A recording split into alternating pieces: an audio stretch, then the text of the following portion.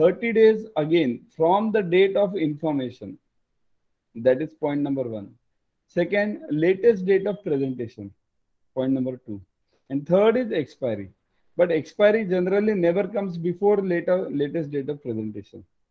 If latest date of presentation is gone, and if expiry has not come up till now, then also the documents are discrepant because late presentation, right? So why this point is stated, uh, why the point is stated over here on or before the expiry date means what?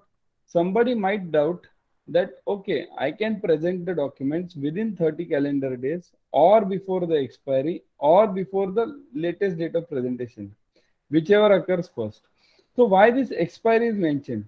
I consider it that even if this expiry date is not mentioned, it won't make any difference in this article because 30 days or latest date of presentation.